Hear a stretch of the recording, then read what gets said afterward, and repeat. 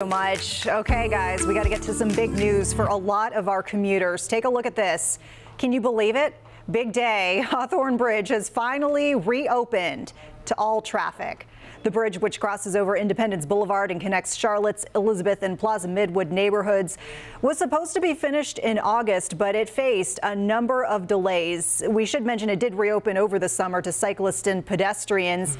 But now we got all vehicular traffic that's able to drive through. The highly anticipated project has been underway since July 2017. How about that, Tanya? Yeah, it's about time.